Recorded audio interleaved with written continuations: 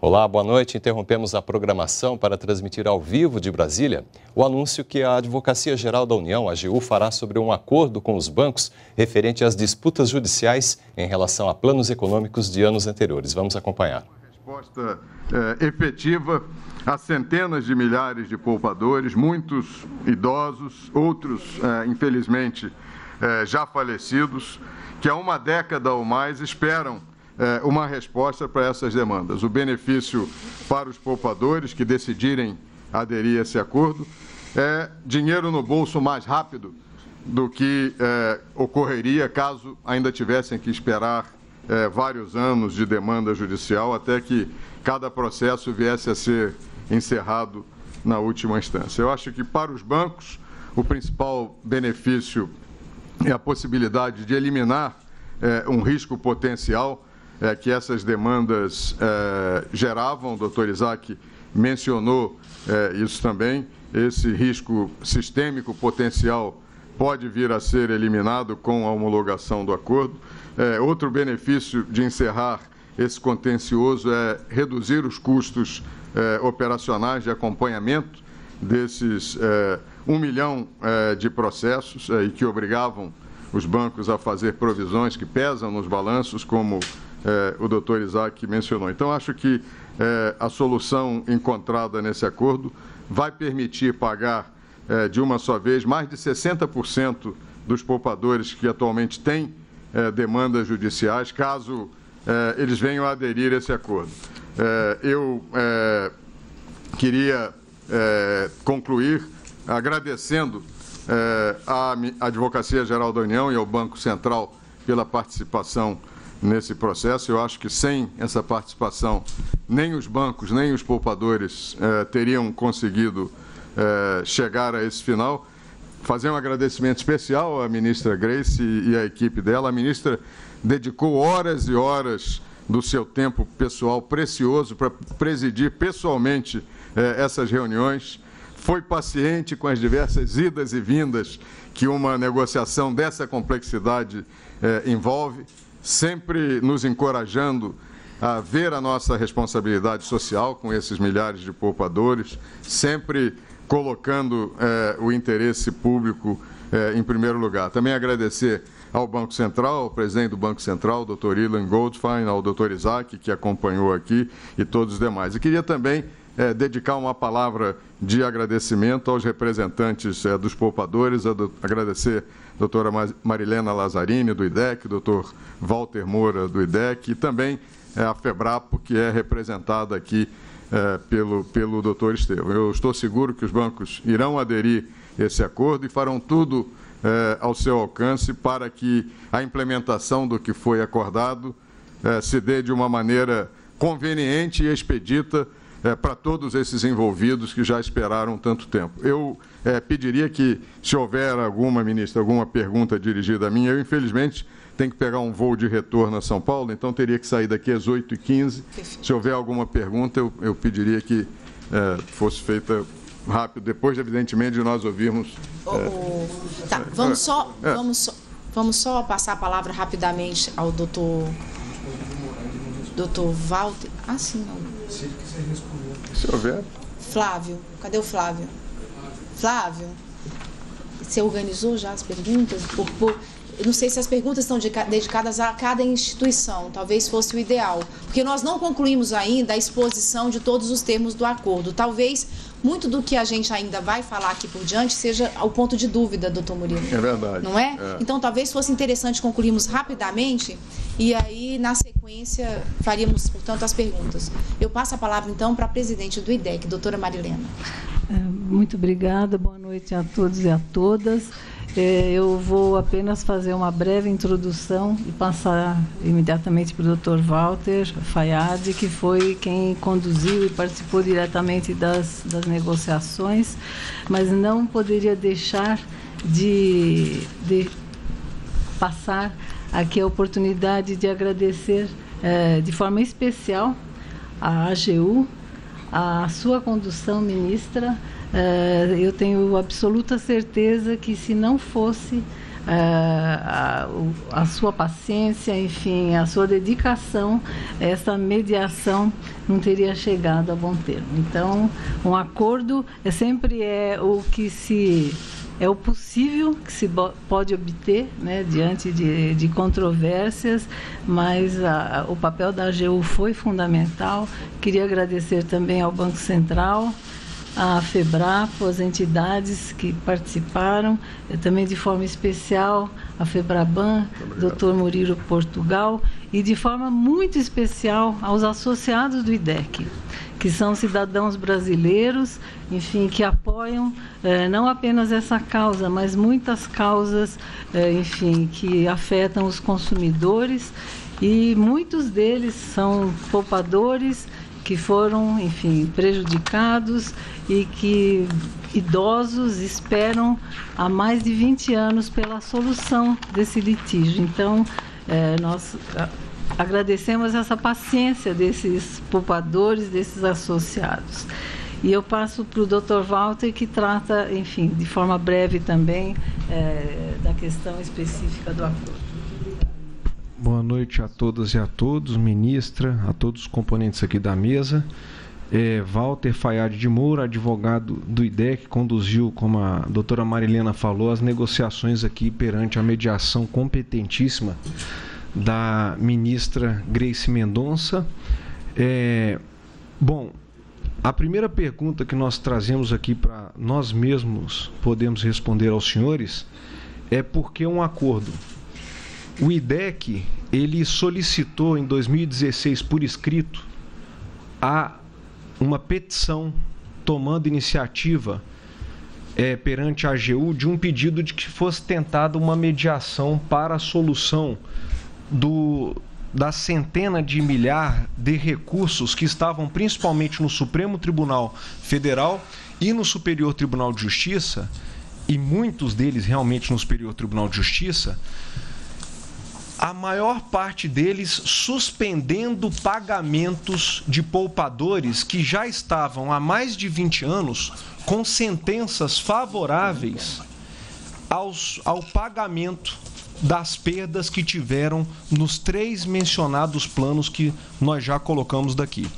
Então, estes poupadores tinham problemas que nós, apesar de virmos à tribuna dos tribunais superiores, o IDEC jamais deixou de se habilitar como amigo da corte ladeado às vezes do Ministério Público, às vezes de outras entidades, mas jamais deixou de abandonar a posição de defesa intransigente dos direitos dos consumidores poupadores que tiveram, conforme o entendimento do IDEC e de vários julgados dos tribunais superiores, perdas nos planos Bresser, Verão e Color 2.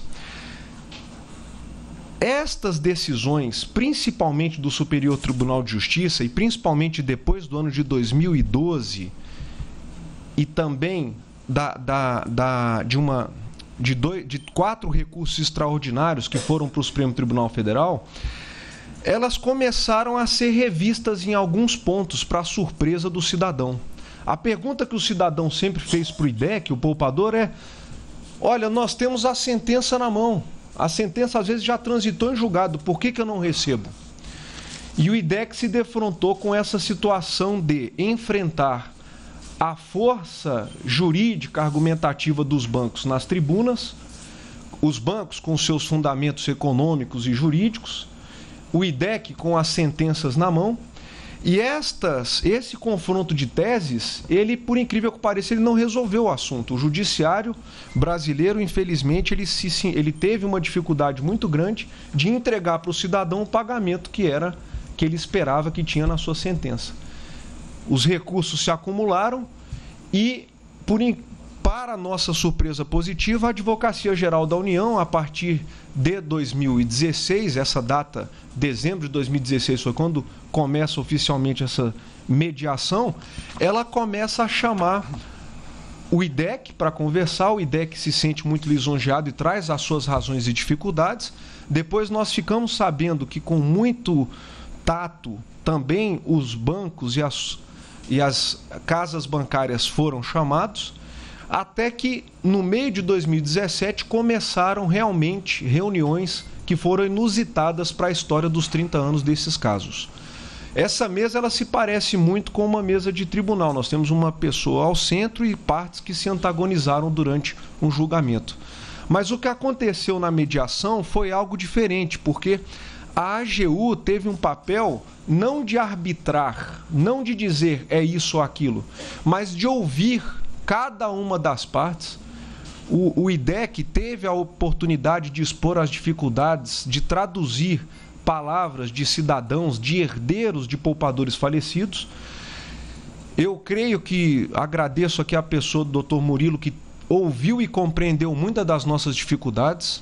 Essas dificuldades na tribuna dos tribunais ela não funciona, ela é sempre antagonizada, mas na mesa da mediação eu também confesso que o IDEC aprendeu a ouvir algumas questões que não via tanta tanta certeza na mesa, nas tribunas. E essa mesa de mediação, para todos os que estão aqui que não participaram dela, ela tem uma diferença. Ao invés de, de um terceiro dizer o que foi certo o que foi errado, fomos nós quem construímos, e a palavra nós aqui une IDEC e FEBRABAN e também a FEBRAPO, nós construímos o que está escrito nesse documento nós fizemos concessões do que está escrito nesse documento. Então, os poupadores, por intermédio dos nossos associados, de quem nós consultamos, eles participaram de alguma forma, porque esse documento ele corresponde a concessões que nós fizemos e avanços que nós também fizemos. E, de acordo com o que falou o doutor Isaac, ele tem bastante razão, e a ministra também falou isso, deixar para o judiciário dizer o que, que nós vamos ganhar ou não se tornou algo complicado num processo que já dura quase 30 anos, mais de 25 anos. O que, que esse acordo traz para a mesa? E, e, a gente leva para o cidadão a, depois que o Supremo homologar. Ele traz para o cidadão a pergunta cabal: doutor, quando é que eu vou receber isso? E quanto que eu vou receber? E a justiça teve uma certa dificuldade de receber nesse emaranhado de, de, de responder de modo definitivo isso para o cidadão. Estava sempre um recurso pendente, um outro dá uma decisão aqui, outra ali. A imprensa com um papel fundamental de nos ajudar, às vezes, a traduzir isso. E talvez o que a gente espera a partir de hoje, dessa data, do anúncio desse acordo, o que o IDEC busca é dar uma resposta ao cidadão, dizendo. Senhor João, senhor José, dona Maria, o meu associado do IDEC, a partir da homologação, passados passado o prazo de adesão, vindo o banco, homologado, o senhor vai receber o valor X que está calculado, o IDEC vai disponibilizar uma calculadora digital para que o cidadão possa calcular esse valor. As informações que a gente puder dar estarão disponíveis no site do IDEC. E esse cidadão, da mesma forma que os bancos, ele também precisa ter segurança jurídica. Se os bancos ficaram à mercê de decisões judiciais, o cidadão também ficou à mercê de decisões judiciais. E esse acordo dá uma, uma, uma resposta definitiva para quem aderir a ele. Então, feitas essas considerações, foi difícil para a gente lidar com essas questões novas de sigilo, com essas questões novas de formalidades que o acordo requereu. A gente precisou muito da estrutura da AGU para a gente se sentir igualado ao poder que os bancos têm. Os bancos têm argumentos muito preparados, os números dos bancos são sempre muito é, é, exatos e realmente a AGU permitiu, não como quem arbitra, mas quem como possibilita um diálogo igualitário, ela permitiu que nós cidadãos consumidores comuns, nos é, é, sentíssemos e dialogássemos de modo igualado com instituições do porte da FEBRABAN, dos bancos privados e bancos públicos. E eu acho que feitas essas considerações e pedindo perdão pela extensão da, do uso da palavra, mas eu queria agradecer realmente a todos os associados do IDEC, todos os poupadores que tiveram paciência de aguardar essas tratativas, nós nos esforçamos bastante e queria só registrar também um agradecimento especial aos nossos dois bancos públicos que nós esperamos que adiram ao acordo, a Caixa Econômica Federal e ao Banco do Brasil, são instituições que têm finalidade social e se demonstraram na mesa, assim como os bancos privados, é, é, interessados em dar cumprimento a essa finalidade social. E a gente deixa esse, esse agradecimento por isso, é, é, de modo expresso. Muito obrigado, ministra. Bom, de pronto já nós passamos então a palavra ao doutor Estevam, que é o representante da FEBRAP. Doutor Estevam com a palavra. Muito obrigado. Alô? Oi. Bom, boa noite a todos. É, primeiramente, gostaria de agradecer as pessoas aqui presentes, com quem dialogamos ao longo de meses para a construção desse acordo. É, prometo ser breve. Meu nome é Estevam Pegoraro, presidente da FEBRAPO. O, eu vou direcionar minha palavra, ministra, aos poupadores, aos advogados e às entidades de defesa dos consumidores que compõem a, essa coalizão em torno da FEBRAPO. O, hoje, para nós, é um dia de conquista, é um dia de comemoração. Acho que depois de muitos anos de uma discussão judicial que se arrastou, tendendo a não ter fim, a gente conseguiu construir um acordo que, ao nosso ver, beneficiará a todos. Faço minhas as palavras de todos aqui que já se pronunciaram. Eu acho que esse acordo é um acordo que vem trazer um, uma benefício para a sociedade como um todo. Ele beneficia diretamente os poupadores que poderão receber os seus valores.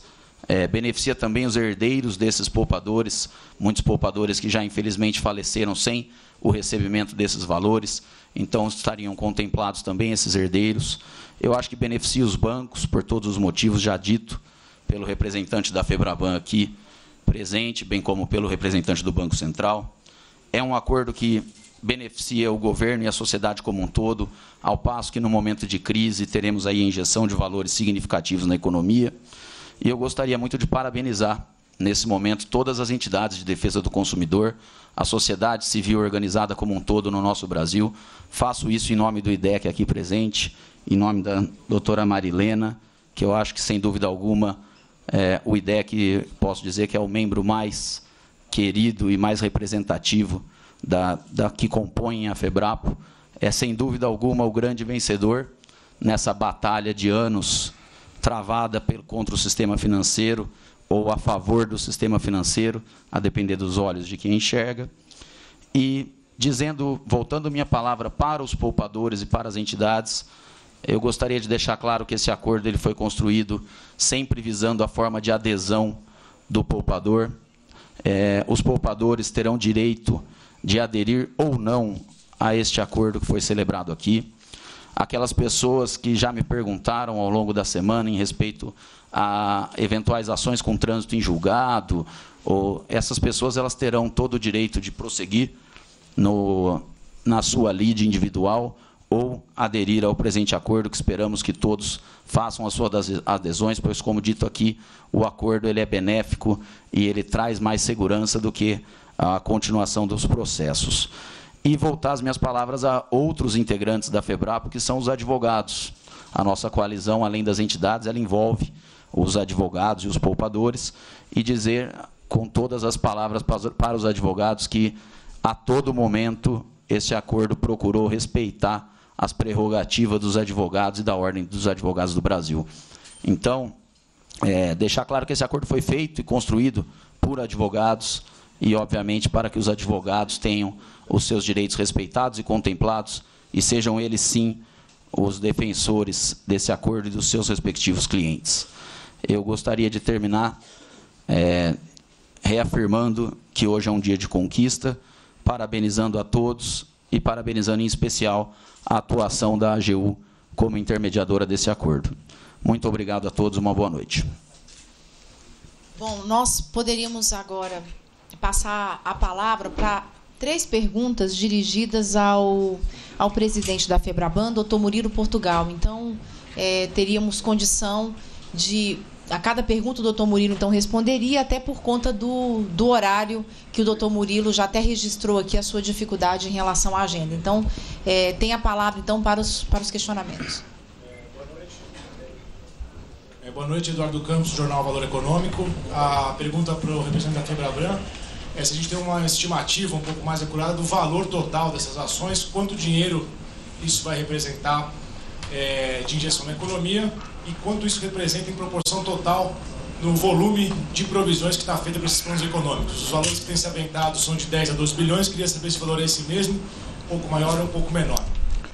É, muito obrigado. É, nas discussões que nós tivemos, nós não abordamos o valor total é, de pagamentos. As discussões é, se concentraram em definir a quantia que seria paga a cada pessoa conforme é, o saldo da caderneta de poupança é, que elas tinham. Então, o valor total de pagamentos nunca foi discutido nas negociações e dependerá da quantidade de adesões e também do número de poupadores que tenham comprovado em juízo a existência da conta e o saldo na data do aniversário e, e, e etc. Então eu não tenho aqui o valor total. Porque se você aceitou fazer parte do acordo, você sabe mais ou menos quanto isso que vai custar para o sistema, né? Cada banco sabe, cada banco sabe individualmente, mas eu na Febraban não tenho essa informação. É, você também falou, você também falou sobre uma questão da distribuição, né, que cerca de 60% são resolvidos imediatamente, que são os pagamentos até 5 mil reais. Exatamente.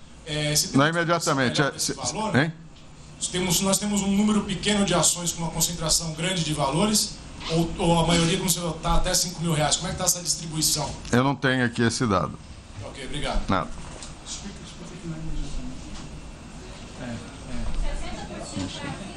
Podemos passar a palavra, então, para o próximo questionamento, dirigido ao, ao doutor Murilo, por gentileza?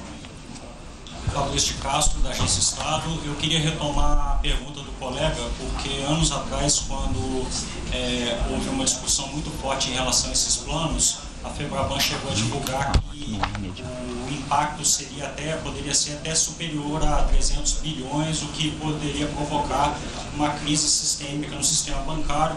O Banco Central, inclusive, é, na época, chegou a alertar também para esse perigo de risco sistêmico. Parece estranho para a gente agora que esse acordo tenha sido fechado e nenhum valor global seja divulgado. Queria retomar essa pergunta em relação ao valor global. Obrigado. É, o número de 300 bilhões, você tem razão, é, surgiu, na verdade, 341 bilhões, surgiu de um estudo é, feito pela LCA e ele se referia ao risco potencial que poderia acontecer caso todas as pessoas que tivessem caderneta de poupança na época dos planos é, ingressassem em juízo. É, o que nós estamos falando aqui não é desse valor. Esse é o risco potencial e que eu mencionei, que é o grande ganho é, que os bancos têm nisso, é de evitar que esse risco potencial se materialize. O que nós estamos tratando aqui é das pessoas que já ingressaram na justiça, seja é, com ações individuais, seja com execução de sentenças de ações civis públicos. Eu reitero o que eu mencionei na vez anterior, nós não discutimos nenhuma vez eh, nas negociações o valor total. Eu sei que vários números foram publicados na imprensa, mas isso nunca foi discutido na mesa. Cada banco tem individualmente o seu valor, eu não tenho aqui a totalização. Obrigado. Podemos passar para a próxima pergunta, então, dirigida ao presidente da FEBRABAN. A terceira e a última, não é? Por conta do horário do doutor Murilo.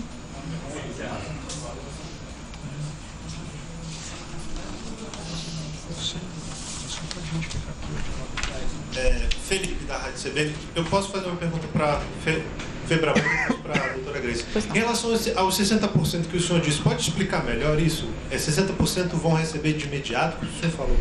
Não, não é de imediato. O que eu disse é o seguinte: 60% dos poupadores estão concentrados, cerca de 60% dos poupadores estão concentrados nessa faixa de até 5 mil reais. Então, eles é, vão receber.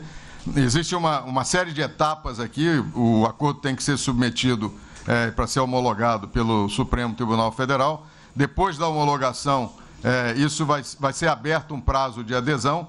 É, quando é, esses poupadores de até 5 mil reais aderirem, eles vão receber imediatamente ao invés de ser parcelado tudo de uma vez. Foi isso a que eu me referi. Ok. É, doutora só em relação a essa questão ao plano Collor 1, eu fiquei com uma dúvida aqui. É, tem a possibilidade de ter uma ação exclusiva contra o plano Collor 1 e aí essa pessoa não vai, ela vai ter que continuar na justiça ou essa ação também vai, vai ser extinta? Eu queria entender melhor essa situação. Bom, em relação ao plano Collor 1, é, o que nós discutimos é, ao longo da nossa mesa de, de, diálogo e de conciliação foi a circunstância de que, em relação a esse plano específico, nós já temos posicionamento do Superior Tribunal de Justiça firmado é, quanto à ausência aí de direitos a, a, a serem aí reparados ou ressarcidos. Então, já há entendimento do Superior Tribunal de Justiça é, inclusive firmado em recurso especial repetitivo, não é? reconhecendo a inexistência de qualquer direito ao pagamento. Então, em decorrência disso, nós não trouxemos o plano Collor 1 para as discussões, já que temos aí o posicionamento firme já do, do, das nossa, da nossa Corte Superior nesse sentido e, portanto, as ações elas seguem com decisões positivas para os bancos em relação a, a esse tema. Por isso, o Plano Collor 1 não foi objeto de, do acordo. Boa noite, ministra. Manuel Ventura do Jornal Globo. licença tá. para me retirar.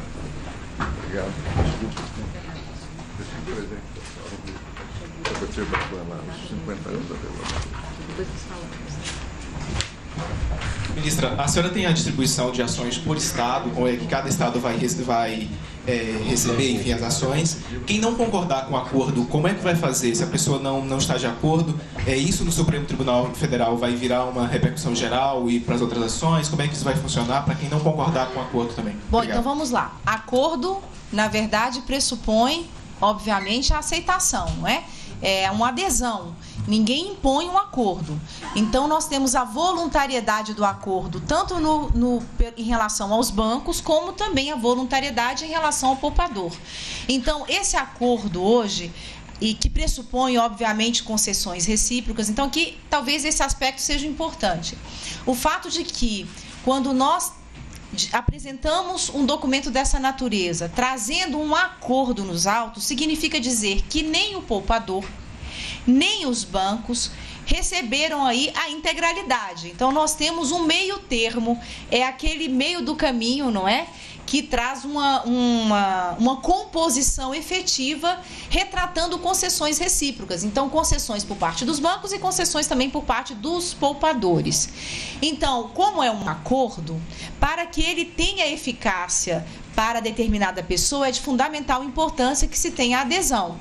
Então, por isso o acordo prevê o prazo de 90 dias para que os bancos façam adesão e, a partir, obviamente, da homologação, também o prazo para que o poupador possa fazer adesão. E para o poupador, esse prazo é mais largo. O poupador terá aí 24 meses para aderir aos termos desse, desse acordo. Então, é justamente com essa premissa da, de se, se estar diante de, uma, de um um ato de vontade do poupador, é que em relação à pergunta é, se compreende que cada poupador terá o seu direito de opção também respeitado.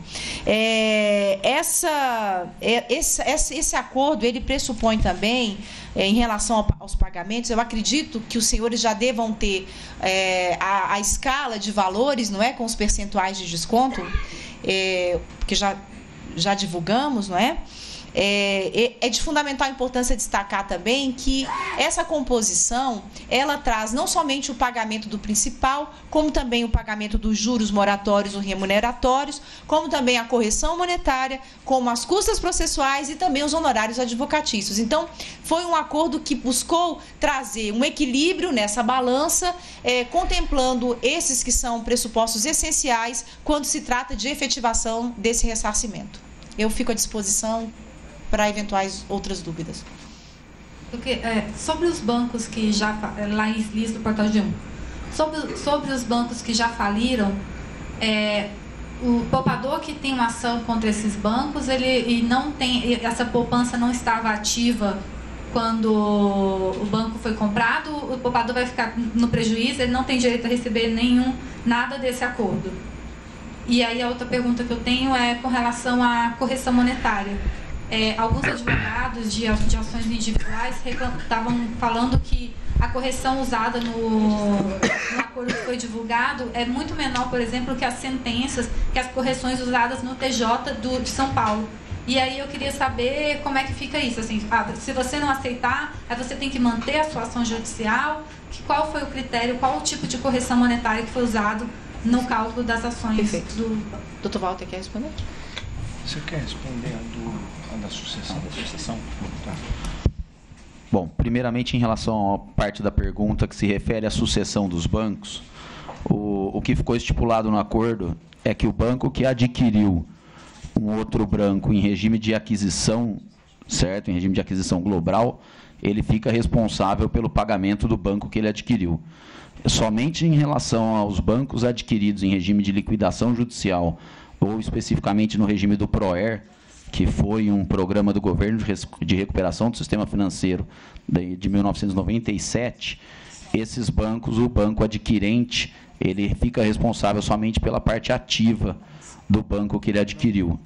Tá? Aí, em relação à parte passiva, as ações judiciais continuam até que o próprio STJ deu uma posição definitiva em relação a isso, pois há um repetitivo que foi desafetado recentemente no STJ que trata dessa questão, que é a questão do good bank, bad banking ou da teoria da, da aparência. Tá? Para se ter uma ideia da dificuldade, da complexidade do tema, é, temos até agora o voto de dois ministros do STJ proferidos a esse respeito. Um foi no sentido da, da divisão do good bank e do bad bank, e o outro foi no sentido da teoria da aparência. Então, enquanto o STJ e o Judiciário não resolver essa questão, ela fica suspensa para uma próxima deliberação aí. Pode ser que isso venha a ser aderido ao acordo ou não. Doutor.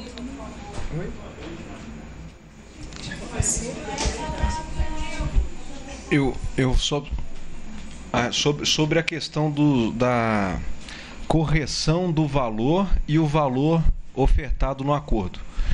Na minha fala introdutória, eu coloquei o problema relacionado com o que, que a, as decisões, principalmente do Superior Tribunal de Justiça, é, em que essas decisões é, é, afetaram os casos, os processos individuais ou coletivos dos poupadores. Bom, não foi apenas a suspensão é, é, de modo indefinido.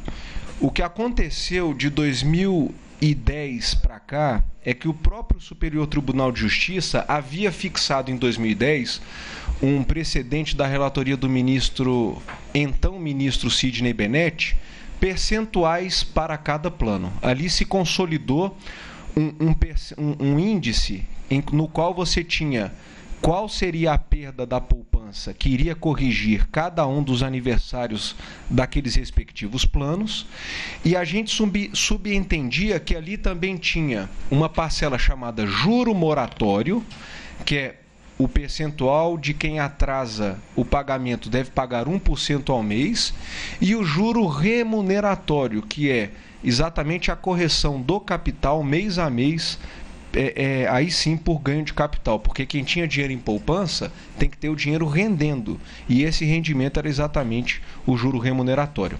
O que, que aconteceu de 2010 para cá para fazer com que o IDEC e os, as outras entidades é, é, pudessem aventar a possibilidade de aceitar um valor menor, apesar de sentenças estarem fixando valores maiores? O fator é muito simples. A jurisprudência do próprio Superior Tribunal de Justiça, e aqui tem dois casos paradigmáticos do ministro Luiz Felipe Salomão que foram totalmente contrários aos consumidores, ele retirou o juro remuneratório de uma série de cadernetas de poupança que haviam sido encerradas. Ele primeiro menciona que a, capta, que o, a, a incidência do juro remuneratório era apenas enquanto a caderneta estivesse aberta. Apesar da dívida permanecer, deveria ser quando estava aberta. E um outro precedente, que também reduziu bastante essa conta, diz respeito a, em algumas sentenças em que estava fixado expressamente pelo juiz, corrija-se o valor com juro remuneratório. Essas tiveram juro remuneratório garantido. Mas em outras sentenças coletivas, o STJ, em presidente da relatoria desse ministro, reduziu a conta do poupador, dizendo: olha, se não estiver expresso no título sentencial juro remuneratório, o banco não deve pagar. Então, para falar em números reais, é, é, os fatores que a gente coloca aí como 4,05, esses fatores foram melhores. Mas só que de 2014 para cá, principalmente, os bancos tinham obtido nessas decisões do STJ reduções desse cálculo que levavam para importâncias menores do que a gente está aceitando aqui. E digo mais, ainda havia risco real do próprio STJ retirar o que eu falei ali atrás, que é o juro moratório. Se o STJ tirasse juro moratório, como de fato um ministro do STJ anunciou num julgamento da Corte Especial recentíssimo, essa conta ia para um terço ou até um quarto do que a gente fechou no acordo. Então, para o advogado que pergunta, mas eu tô, como é que eu vou aderir para um valor menor do que eu já tinha? Porque no futuro da litigância, no futuro do decorrer do processo, os outros recursos do banco poderiam reduzir esse valor para um patamar menor do que a gente acertou nesse acordo. É, Henrique Carmo, da agência BR Mais News. Para a ministra. Ministra, como é que estão as tratativas com o, o STF, se já houve? E outra pergunta, se por acaso um, um poupador fez adesão e o STF não homologar, ele vai perder esse direito e, o, e a AGU vai continuar nesse processo, nessa mediação? Bom, é, é, ST, STF, não é isso? Supremo Tribunal Federal, não é? Bom, é, primeiro, o fato de que nosso trabalho nós concluímos e apresentamos hoje ao Supremo Tribunal Federal. Então, a partir de agora, a, o que se aguarda é justamente a, o entendimento do Supremo, essa decisão homologatória do Supremo Tribunal Federal. Então, essa é uma tarefa que fica a cargo realmente da Suprema Corte do nosso país, que nós, portanto, aguardamos. É, em relação ao poupador que não aderiu, é isso? Se não me fa foi a pergunta? Só para poder aderir depois da homologação. Ah, sim. Não, o poupador só pode aderir após a homologação do Supremo Tribunal Federal. Então, a possibilidade de adesão, ela só vai surgir para o poupador após a homologação do acordo pelo Supremo. Então, será um antecedente necessário. Se não houver homologação, não há eficácia é, em relação a esse acordo. Então,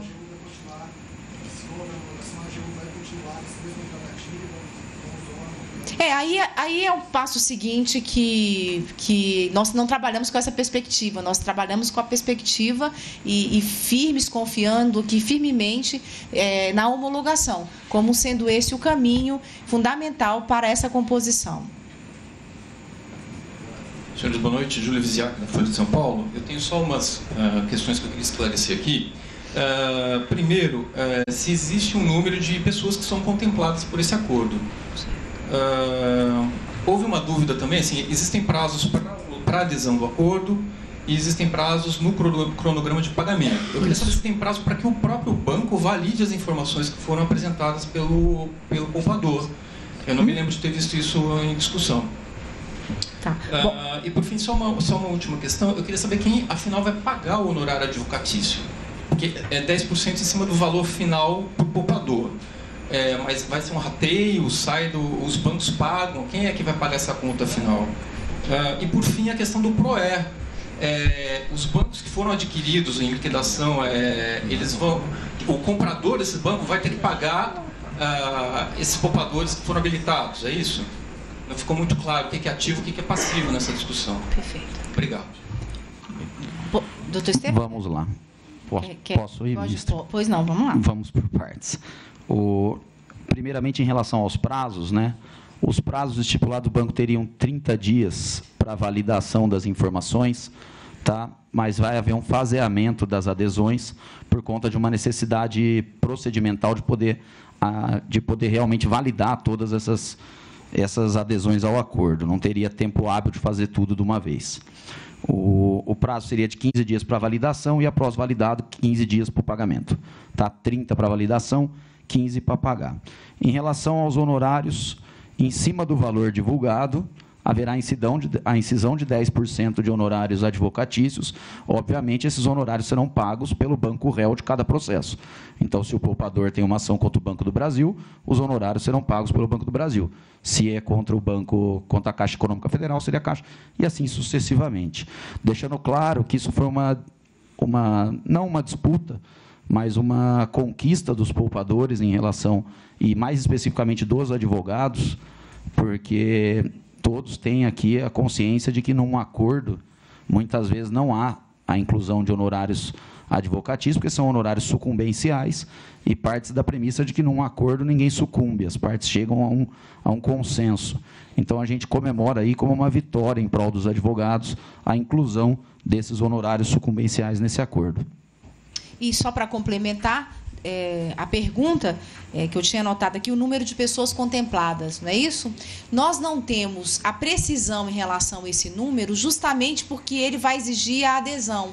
Então, nós não temos ainda, a, concretamente falando, qual será esse número, porque na medida em que as adesões forem sendo apresentadas, então essa evolução é, a gente pode ter mais lá adiante um, um, dado mais concreto. O que nós temos com absoluta certeza é o fato de que temos ações coletivas várias em andamento, um milhão de ações ao todo, a possibilidade de, nas ações individuais, também se ter a adesão. Então, trabalhamos com as ações coletivas, mas abrindo espaço também para, naquelas individuais, a, a parte, o poupador, é, se quiser, né, ele poderá perfeitamente também aderir aos termos desse acordo. Então, não temos o um número exato, porque vai depender da adesão dos bancos e da adesão também do, dos poupadores.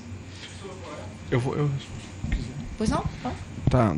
Júlio, em relação ao PROE, o acordo, quando a gente disse que foi uma construção de dois lados, a questão do PROER, como foi dito pelo doutor Estevam, ela é uma questão que ainda está sendo arbitrada lá no STJ.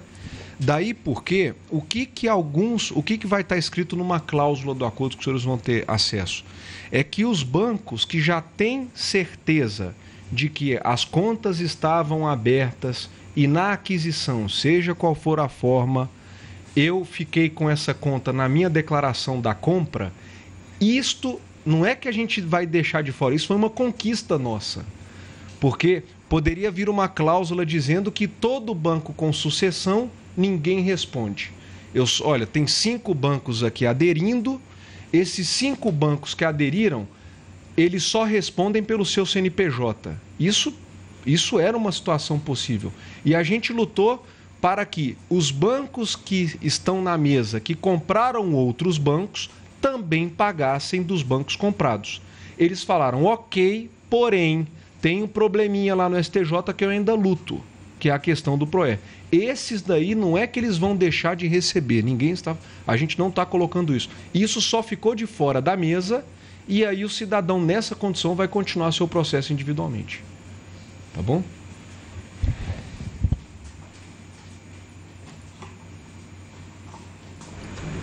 Boa noite, Letícia de Oliveira, da TV Globo. É, eu vou insistir na pergunta para a ministra, para a FEBRAPO, para o IDEC, é, por causa desse número. Muito se falou em 10, 11, 12 bilhões. Então, apesar de a FEBRABAN ter dito que não se trabalhou com um número, eu imagino que os senhores devam ter pelo menos uma estimativa. Então, eu gostaria de saber dessa estimativa de quanto dinheiro a gente está se falando, para não continuar nessa especulação. É, outra dúvida.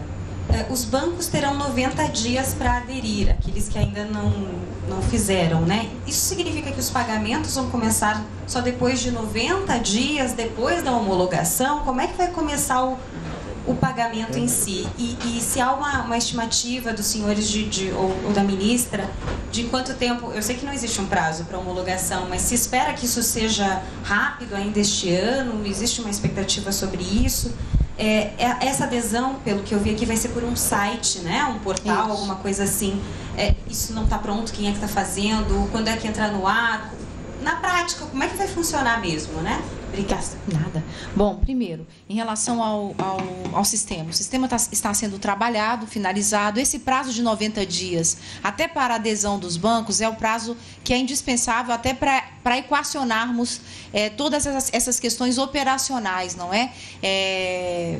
Os senhores devem compreender bem até que nós estamos falando de um tema altamente difuso, em que nós temos inúmeras ações coletivas, não é? Um número também imenso de poupadores que, em tese, se enquadrariam é, nesse acervo de requisitos que nós estabelecemos aqui nesse acordo.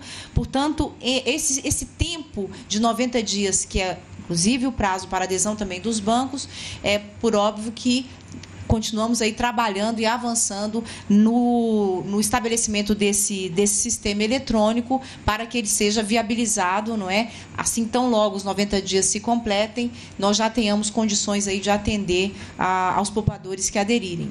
Temos aí um escalonamento primando aí pelo ano de nascimento do poupador para essa adesão, então tudo se daria por lotes para que esse sistema que já está sendo trabalhado ele possa comportar. Então temos aí é, para aquelas pessoas que nasceram até 1928, não é? Nós temos a, o prazo aí para habilitação de até 90 dias, não é? E daí na sequência a cada 30 em 30 dias nós vamos abrindo novos lotes a partir, portanto, da data é, de nascimento. Então, por exemplo, nesse caso o parâmetro de 1928, o passo seguinte seria quem nasceu de 1929 até 1933 estaria no segundo lote. 30 dias depois, então a gente vem, quem nasceu de 1934 a 1938 estaria no lote seguinte. E assim vamos avançando adiante, com exceção daquelas pessoas que executaram as suas ações é, coletivas, nas ações coletivas, executaram nesse exercício de 2017 por conta, perdão, 2016, 2016, gente, 2016, para não ter confusão, que executaram em 2016 por quê? Porque esse, esse grupo ficará, já que foi é, nesse, nessa reta final, esse grupo ficará para o, o, último lote, que é o 11 lote. Então, esse grupo ficará mais adiante e, e, teremos aí um parcelamento também diferenciado nesse caso. É, então, no que se refere a, a, digamos, a implementação e a efetivação, a ideia central é que se dê de, de forma é, segura, daí a importância do sistema, que permitirá também o controle por parte dos poupadores, mas também das instituições financeiras, não é? E esse prazo de 90 dias foi o prazo considerado, considerado também razoável, até mesmo para finalizarmos esse esforço no sentido de disponibilizarmos para os poupadores esse sistema. Não sei se respondi ou se ficou algum ponto em aberto. Eu acho, é, não, não. O portal, não é, o, o, portal será das partes envolvidas.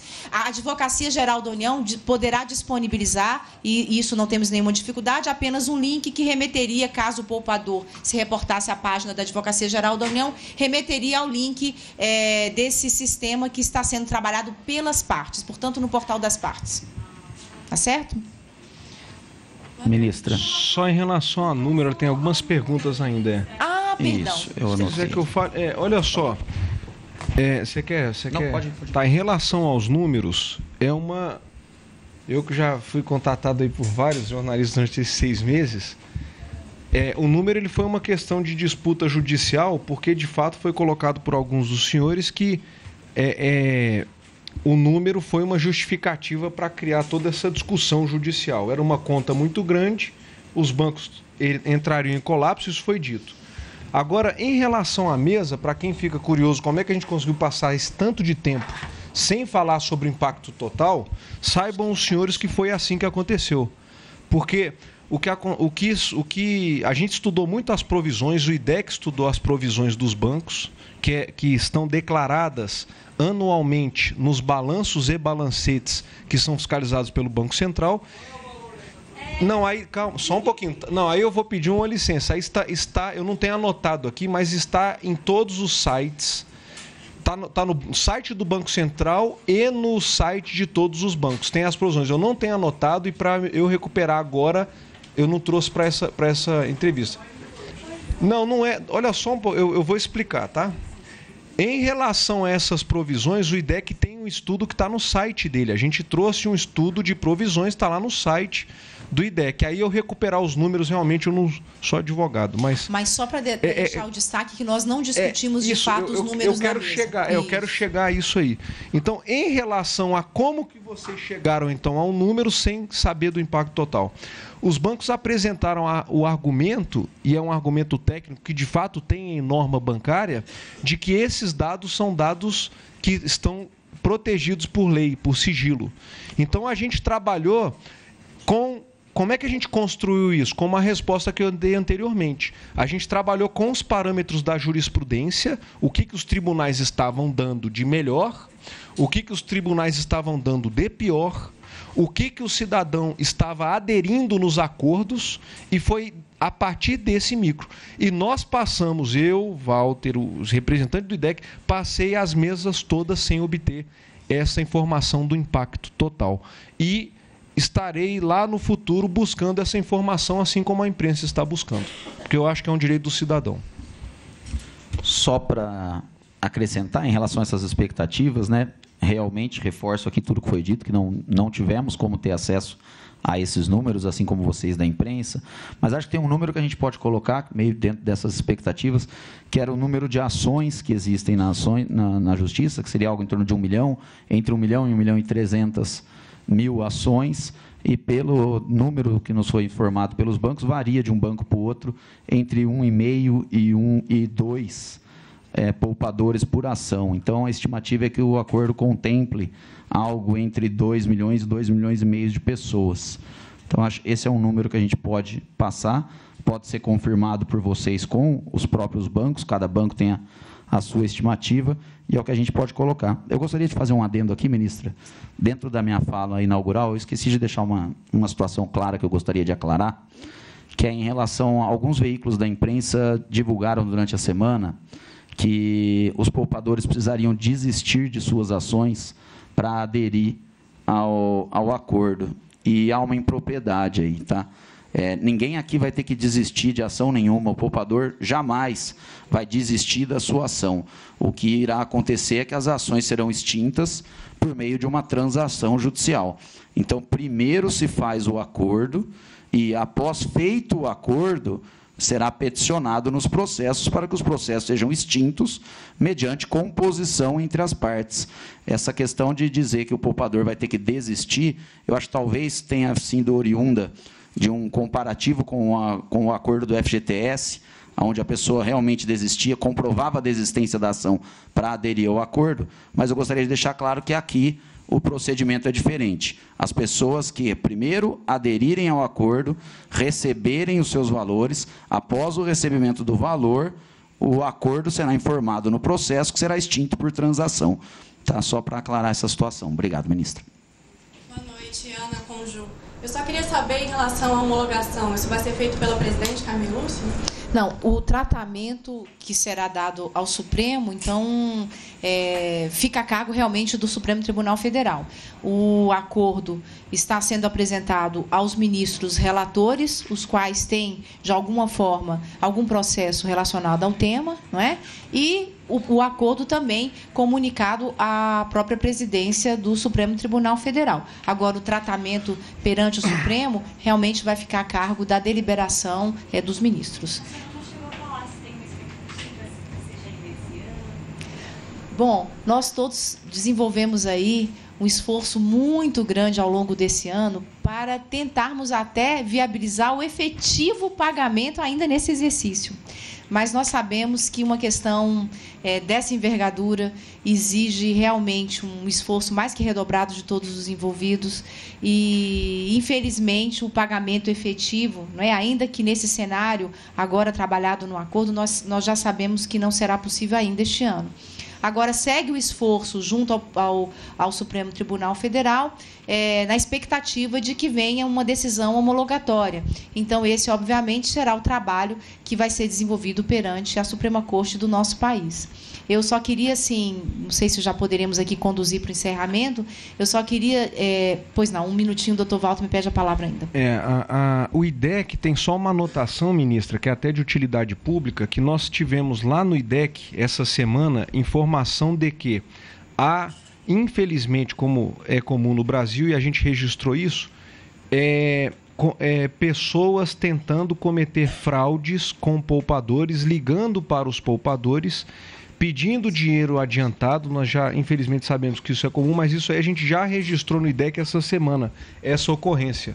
Então, se os senhores, no dever constitucional que os senhores têm de informação, puderem esclarecer de que não há pagamento imediato, que não existe oferta de pagamento por telefone, por parte da FEBRAP, se puder também, a gente vai se, se empenhar nisso para que a gente não transforme isso numa oportunidade para ilicitudes. Pois não. Bom, eu. Hã? Estará sendo levado, levado tão logo nós terminemos aqui essa, essa entrevista. Vai protocolizar Bom, hoje. eu só queria eh, dizer o seguinte. Uma... Ele, ele não vai entender isso. Pois não.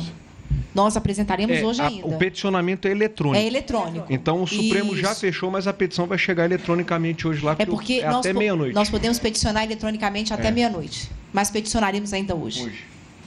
Bom, é, só para finalizarmos, não é, dizer que esse acordo é, foi um acordo que demandou de todos nós, é, Febraban, IDEC, Febrapo, não é, Banco Central, um esforço conjunto bastante intenso, não é? Nós trabalhamos aí ao longo de meses para entregarmos aí para a população brasileira o resultado desse esforço. É efetivamente um esforço. E a expectativa é que, de que esse esforço colabore para encerrarmos essa demanda que já se arrasta por tantos anos, como nós já mencionamos aqui. É, e acreditamos que, através dessa solução, que foi fruto do diálogo, que trouxe o consenso finalmente entre as partes, não é? Para que pudéssemos viabilizar o pagamento dos poupadores, essa, esse grande fator de motivação eh, seja de fato atendido, não é? Que é o que nos move, é justamente olhar um pouco ao passado, resgatar um pouco essa história que ficou lá atrás, não é? Trazer para o nosso presente e dar o tratamento adequado. Esse foi o gran... Essa foi, foi a grande linha de trabalho nossa, o nosso empenho, o nosso esforço. Sabemos que, muito além dos números que foram colocados, tratados, não é? Números para a economia, números de ações, tudo de uma magnitude, não é? O fato certo é que, muito além desses números, nós temos aí vidas, vidas de pessoas idosas que aguardaram ao longo de décadas a solução para a sua expectativa, não é? Aquela que seria a demanda colocada, portanto, perante o, Poder Judiciário brasileiro. E hoje nós aqui, na, com, a, com a perspectiva de colaborar, portanto, é a colaboração que, que nos moveu aqui. É, nessa expectativa, portanto, nós apresentamos uma solução fruto desse consenso, trazendo esse olhar também para esse poupador idoso, né, em sua maioria, é, e trazendo a resposta, finalmente, após tantas décadas de espera. Com isso, também nós é, temos a expectativa de virar essa página da história na certeza de que a hiperinflação eh, possa ser de fato esquecida e deixada no passado e que com esse tratamento adequado agora que estamos procurando construir, com esse equacionamento, nós possamos aí vislumbrar novos horizontes em que a população brasileira com segurança jurídica eh, possa, portanto, enfim, eh, trilhar aí seu caminho adiante. Sabemos que a economia brasileira é outra, a- o nosso o nosso quadro de evolução em termos de economia, ele é inquestionável, indiscutível, e com esse tratamento agora, eu acredito que finalmente a gente consiga colocar um ponto final nesse passado que ficou em aberto aí, e não poderíamos fazê-lo se não fosse pela colaboração das partes diretamente envolvidas. Portanto, o nosso agradecimento da Advocacia Geral da União, ao Banco Central do Brasil, em especial aos bancos públicos, eu gostaria muito de deixar esse meu registro, à Caixa Econômica Federal, ao Banco do Brasil. Não é? é muito interessante quando nós olhamos para o passado, não é? É, em que nós constatamos que o poupador eh, investia muito na Caixa Econômica Federal e no Banco do Brasil. E isso a gente vê retratado no número de demandas e de ações. Então, fica aqui o nosso agradecimento ao presidente da Caixa Econômica Federal, ao presidente do, do, do Banco do Brasil e também as partes, não é, que com tanta boa vontade conseguiram construir esse caminho, que esperamos aí que dê certo ao futuro. Essa é uma linha de trabalho da Advocacia Geral da União, como eu tinha falado para os senhores, nós firmamos 80 mil acordos esse ano, que representou aí uma economia de 1 bilhão e 200 milhões de reais para a União, nessa perspectiva de composição é, e de solução pacífica de conflitos. Então, essa tem sido a linha, portanto, também do nosso trabalho aqui e da nossa gestão. Mas eu quero agradecer imensamente a presença de todos. Quero colocar a nossa Advocacia Geral da União à disposição. É, as linhas aí estão abertas para os esclarecimentos, mas eu tenho certeza absoluta também que todos os poupadores terão no, no IDEC e na FEBRAPO também um canal aberto para os esclarecimentos que serão imprescindíveis nesse momento. Não precisa ninguém se desesperar, tudo será feito com calma, a seu tempo e após a homologação pelo Supremo Tribunal Federal. Então, não é preciso atropelo, não é preciso correria, o poupador pode ter a tranquilidade de de saber aqui que nesse momento cada passo será divulgado, ele terá ciência pelos veículos seguros de comunicação, não é? Por, com isso contamos aí com apoio é, também da imprensa brasileira nesse sentido e através também das entidades representativas dos poupadores. Então a fala aqui é, do IDEC é muito importante para que o poupador não venha a incorrer em qualquer equívoco, acreditando aí em fraudes é, que num cenário como esse acabam infelizmente também também acontecendo. Então, é, tenho a certeza de que os órgãos oficiais estarão à disposição também do poupador para esses esclarecimentos. Eu agradeço muitíssimo a presença de todos, colocamos a instituição à disposição, parabenizo a imprensa pelo trabalho de excelência que vem desenvolvendo, pelo interesse em relação a esse tema, é porque esse realmente é, essa realmente é uma questão que interessa a todos nós e hoje nós acreditamos que vencemos um passo importante também nessa história de resgate e de tratamento adequado a esse passado. Muito obrigada a todos. Uma excelente noite.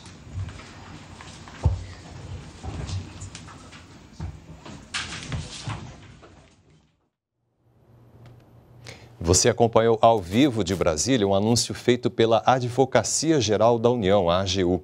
Acordo firmado hoje deve encerrar as disputas judiciais relativas a perdas de aplicação em poupança com os planos econômicos Bresser, Verão e Collor 2. Detalhes sobre esse assunto você acompanha em nossos boletins de notícias. Continue com a gente aqui na NBR, a TV do Governo Federal.